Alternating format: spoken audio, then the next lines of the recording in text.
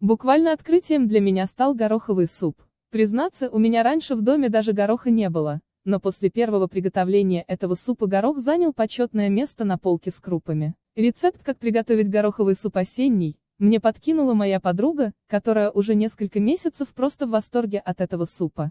Заинтриговал этот суп меня не только самим горохом, но также наличием в составе копченой грудинки и горчицы. Скажу честно, такого я еще не пробовала а потому была поистине заинтригована и решила хоть раз приготовить такой супчик. Столовые ли говорить, что я была в восторге от этого супа?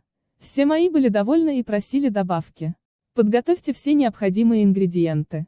Все овощи очистите и промойте, сухой горох замочите в холодной воде на 4-5 часов.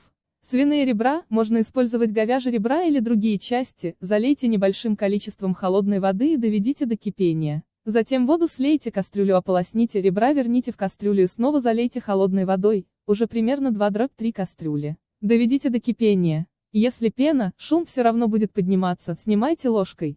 Варите мясо на медленном огне 1, 1,5 часа, пока мясо не будет хорошо отходить от кости. Горох заранее необходимо замочить в холодной воде. Я сначала промываю его несколько раз, а затем заливаю холодной водой, чтобы покрыло на один палец, и оставляю. Когда мясо готово, выньте его от из кастрюли, слегка остудите, мясо отделите от кости. В бульон отправьте горох и варите 30 минут. Когда горох станет достаточно мягким, отправьте в кастрюлю порезанную на небольшие кусочки картофеля. Обратите внимание, я советую одну большую картофелину отправлять в суп целый. Потом мы ее достанем, разомнем толкушкой и снова вернем в суп. От этого суп станет более густым, наваристым и еще более вкусным. Пока варится картофель, морковь и лук порежьте мелким кубиком. Да-да морковь тоже порежьте мелким кубиком, она будет хорошо чувствоваться в супе, да и цвет супа станет более ярким. Обжарьте морковь с луком до прозрачности лука. Затем отправьте овощи в суп. Копченую грудинку порежьте соломкой и отправьте в суп вместе с вареным мясом, которое мы сняли с ребрышек.